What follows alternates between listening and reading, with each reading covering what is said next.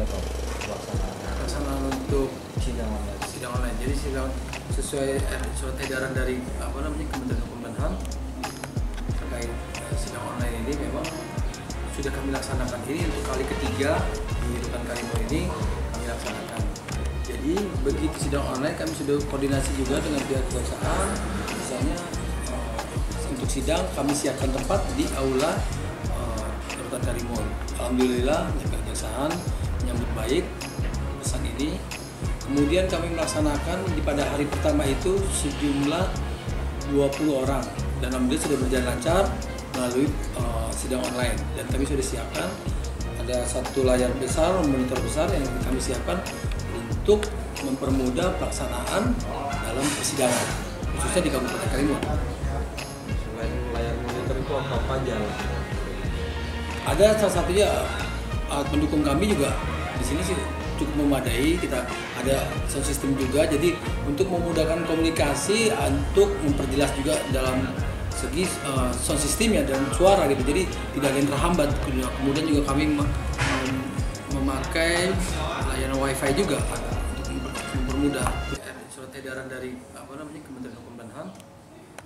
Terkait eh, sidang online ini memang sudah kami laksanakan. Ini untuk kali ketiga di Rutan Karimau ini kami laksanakan.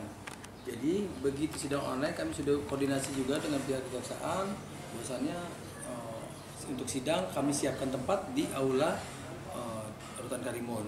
Alhamdulillah pihak kejaksaan menyambut baik pesan ini.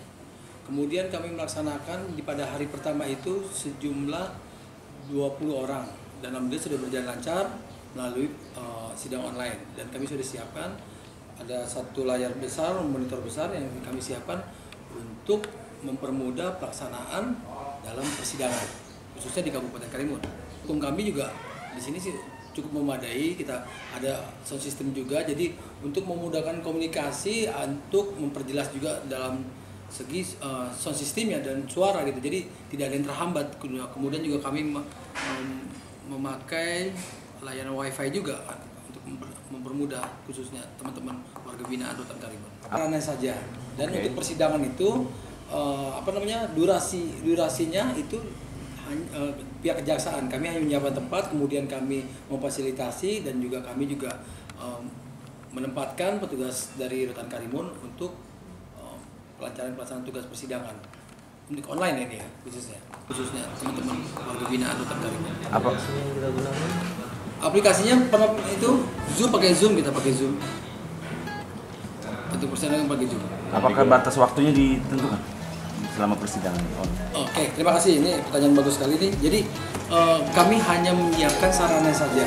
Dan untuk persidangan itu eh, apa namanya durasi durasinya itu pihak kejaksaan kami hanya menyiapkan tempat, kemudian kami memfasilitasi dan juga kami juga eh, menempatkan petugas dari Rutan Karimun untuk pelancaran pelaksanaan tugas persidangan untuk online ini ya khususnya. Tiga hari ini ada kendala nggak? Alhamdulillah sejauh ini enggak, tidak ada kendalanya. Alhamdulillah berjalankan. Sekarang total 28. 28 untuk sidang hari ini? ya, hari ini.